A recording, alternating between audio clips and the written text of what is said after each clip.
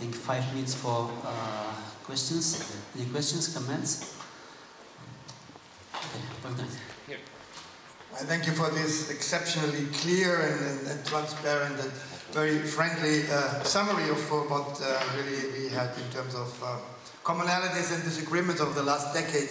On this, to you, surprising uh, move, uh, at least in the last edition, away from probabilistic to multidimensional population projections, maybe just a piece of background that at IIASA, which is clearly one of the world's leading environmental change modeling um, groups, so several, several teams are there, we had constant uh, discussions um, about the, the, scenario versus the probabilistic. And there are some of my, actually most of the other IIASA colleagues uh, think that it is not appropriate to do probabilistic modeling because of what they call deep uncertainty.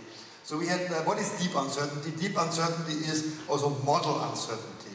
Uh, and the sort of the other uncertainty that you can deal with in a probabilistic sense is what we call parameter uncertainty. So you know the model, and you are just uncertain about what the specific parameters are, and for those parameters, uh, you can uh, assume some uncertainty ranges.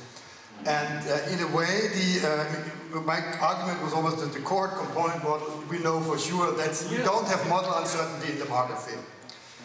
Uh, well, this was, uh, I mean, this strong belief in the cohort component method uh, was weakened a bit by uh, from our other work on, on multidimensional, because the cohort component model is only two-dimensional, and you assume that every person in a, all the people in a given age and sex group are homogeneous. But of course they are not. And the question is how uh, this heterogeneity affects the dynamics of the behavior. And that was the, much of the early work by Jim and Anatoly Yashin. They showed what's called the deviant dynamics of heterogeneous systems. And we are not capturing this heterogeneity in uh, the, the, standard cohort component model. And of course, many of the, the sensitivity analysis of the different education-specific work has very clearly demonstrated that uh, the education, if you incorporate explicitly the education dimension, the results are different. They can be quite different. And also if you do sort of a, on a national level, like you do a population projection for India as a country, or you do it for the different uh, states of India, uh, with identical assumptions like keep everything constant, the outcome is very different because you have a self-reweighting of the provinces. So there's all these sources of heterogeneity, be it spatial or social or whatever, have a big influence. And then I was also sensitized to the fact about the um, uncertain starting values in many countries. Even in China, I mean, the UN assumes 1.6, the TFR, the latest census of China said 1.05. Nobody knows how much of an undercount this is. And China is the biggest country in the world. And, and so the assumption where it will ultimately go, we just don't know. So I'm more appreciative now of the deep uncertainties that we even have in, in population. Uh, having said this, I, my sort of secret agenda to go is exactly in the way for the coming years that you say that we really uh, should not give up the uh, doubtless advantages of uh, probabilistic population projections. There is additional information, I still uh, believe it, uh, but we should be a bit more careful and sensitive to the, the model assumptions that we make and finding probabilistic ways in incorporating model uncertainty and also empirical data uncertainty and other things that are usually taken for granted. But thanks again. Thank you. Agree. I have, I have two issues. Uh, first, uh, in the early days of probabilistic uh, forecasts, there was a discussion between Wolfgang and Juha Alho and Ron Lee, particularly on the problem of expert opinions versus time series analysis approach. Uh, it would be nice to hear, for me as layman in this field, uh, what is the state of the art now? Is this now been decided? Is the expert method generally uh, accepted? Or what about this uh, time series analysis and so on? And the second question, which is somewhat maybe related, uh, in all these discussions, the words or the concept of confidence interval uh, with respect to these various trajectories in the future is not used anymore.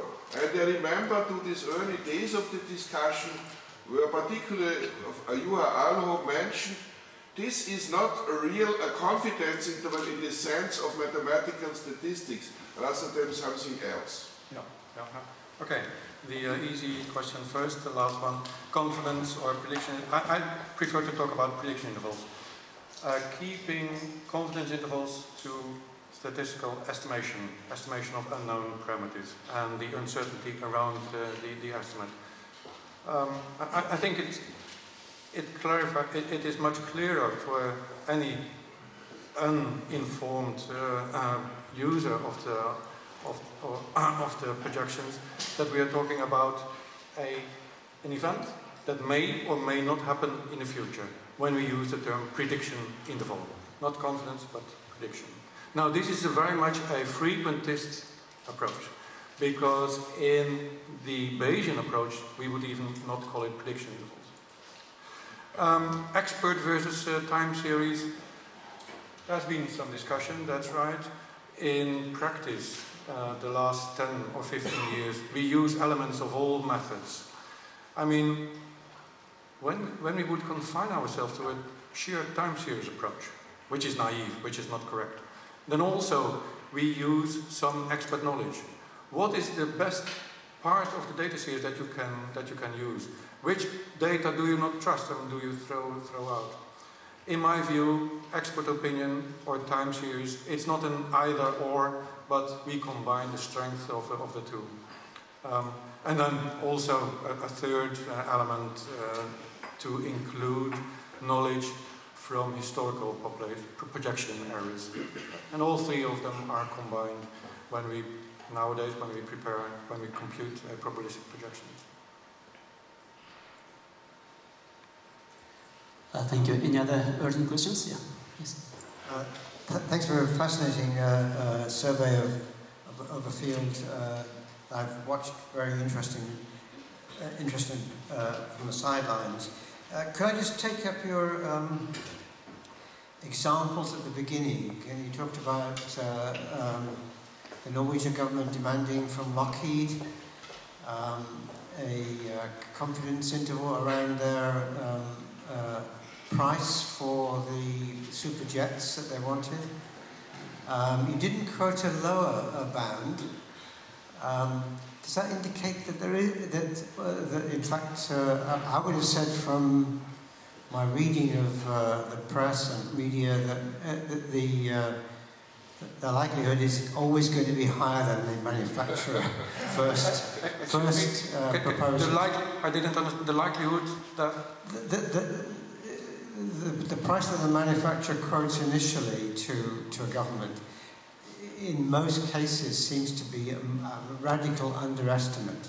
So, so, that, so you know, could you comment on that question? Then, um, what about how do the Norwegian government then, let's say, faced with, with a realistic probabilistic distribution, um, uh, how does that affect their decision making? And do they have to take into account op op opportunity costs of cancellation versus acceptance of a contract, things like that. Uh, uh, you know, consequences for the integrity of the Norwegian state if they don't have those jets flying around. Uh, um, uh, and then, how do they quality assure um, the probabilistic calculations? Uh, now, in academic discourse, you know, we're, forced, forced to reveal all our secrets, you know, all our assumptions, and they can be uh, challenged and tested and debated as we're doing in, in this conference. But what about commercial firms? Do they allow that? Thank you, uh, Phil. Yeah, pertinent questions, and I would not claim that I have the, uh, the, the, final answer to, to all of these.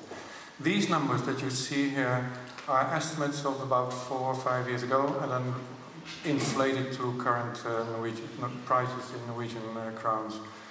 In practice, these are revised every third or fourth year. I haven't seen the most recent estimates uh, still, but of course, if you would ask Lockheed nowadays to come up with similar prediction, then the numbers would be different. Um, then there is a cost, of course. Should, should we, based on sorry, based on these numbers, the contract was, uh, was signed. Now you can always cancel the contract, but then there are of course opportunity costs that will be not, uh, not very cheap. Um, you, uh, um, you asked about how realistic are these uh, estimates. I'm not sure that I can, again, can give the answer. This is not being discussed in, in Norwegian uh, newspapers. The reason why I gave you this example is the way of thinking. You improve decision making when you think in terms of a probability distribution. Of course, zero as the lower limit is not very realistic. But they wanted to have a forecast that with 50% chance would be kept, or not. And then in addition, a forecast that would be kept. So price would be lower. This is an upper bound. If it turns out that the real price will be 50 billion, in likely, then the Norwegian government has saved money. Fine, excellent. We made a reservation in the budget, but then we, fortunately enough, we have uh, saved.